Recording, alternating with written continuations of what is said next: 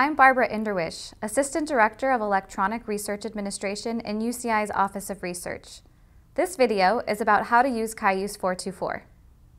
We encourage you to use the Quick Start Guide. It is available for reference on the Electronic Research Administration website. Click on the link to download a PDF of the Cayuse 424 Quick Start Guide for Principal Investigators. We recognize that everyone has unique learning objectives. While some may want to start at the beginning, others may need just a quick refresher on how to accomplish a certain task in Cayuse. This video is separated into sections so you can go directly to the topic that you choose. When you hover the mouse cursor over the scroll bar at the bottom of the screen, a thumbnail is generated revealing what you are about to see. Grab the position knob and move it to the right until you find the next full screen title. Another option is you can click on one of the timecode links below the screen. Topics included in this video are how to access and update your professional profile, how to grant permissions to your professional profile, and how to enter your salary into your professional profile. The last section explains that salary and fringe benefit information in your profile is optional. After viewing this video, if you still have questions, help is available. Contact our UCI ERA support team for questions about Cayuse training and user access. eVisions, the vendor that is providing us with Cayuse, administers software support. When you're working in Cayuse, you can click on the support link in the lower right corner of the welcome page.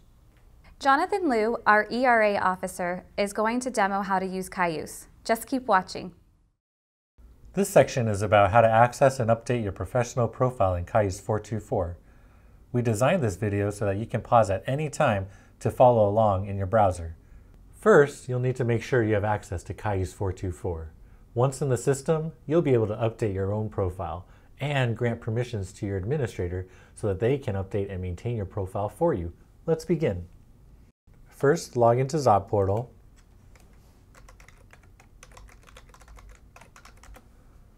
Click on the Research tab and then click Cayuse 424. If you don't see the Research tab when you log into ZotPortal, contact the ERA support team. Once you are in Cayuse 424, navigation within the system is easy from the Overview tab.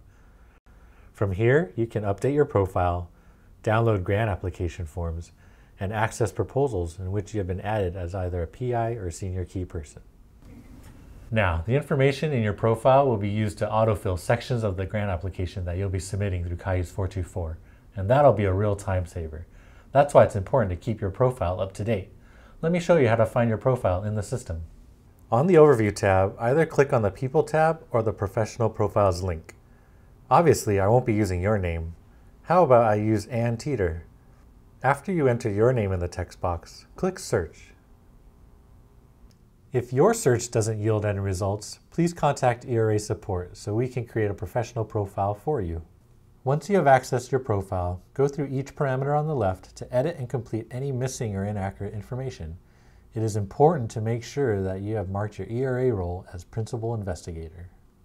Continue editing each parameter as needed. You can save at any time by clicking the blue disk icon. Note that one of the parameters is salary and fringe. Including this information in your profile is optional. We'll cover this more in detail in section 3 of this video. This section is about how to grant permissions to your professional profile. Now, we understand that updating and maintaining your profile can be very time consuming, but that's why it's important to know that you can grant access to one of your administrators and they can then update and maintain the profile for you. To do this, from your profile page, access the permissions screen by clicking the key icon located in the upper right corner of your profile. Click on Add User to search for the name of the individual you want to give access to. Once the name is added, select the appropriate permissions you want to give that individual. It's recommended that you at least give them list, read, write, and autofill access. Once that is complete, that person will be able to update and maintain your profile for you. This section is about how to enter your salary and fringe benefit information into your professional profile. Faculty salaries and fringe rates were not automatically added to profiles. You can add this information into your profile, but it's optional and at your discretion. The benefit of adding this information into your profile is that it will get auto-filled into the budget sections of your proposals and the system can then do the auto calculations for you. To add this information to your profile, click on Salary and Fringe Worksheet on your profile page. This is where you enter your salary according to your appointment type, as well as your fringe benefit rate for budgetary purposes. If you've granted permission to an administrator to update and maintain your profile for you, please be sure to have a discussion with them on whether or not you want your salary and fringe rates saved in your profile. If you decide not to enter this information into your profile, it just means that you have to enter it manually into each proposal that you prepare. But once it is entered, the system can still do the calculations for you. If you have any questions, feel free to contact ERA support or eVisions. In this video, we covered how to access, update, and grant permissions to your professional profile and how to enter salary and fringe benefit information. One-on-one training by our ERA support team is available. We encourage you to use Cayuse 424 for your next federal proposal submission.